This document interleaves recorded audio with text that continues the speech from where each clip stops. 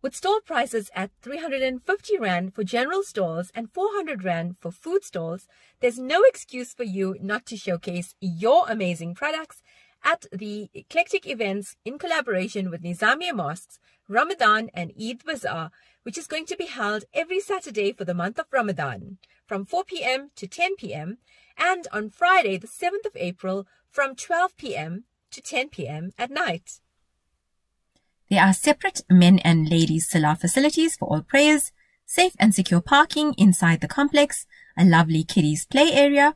So come join us in creating a Ramadan atmosphere for all. Stall bookings are still available. Follow at Eclectic Events and at Nizamiye Mosque for further updates.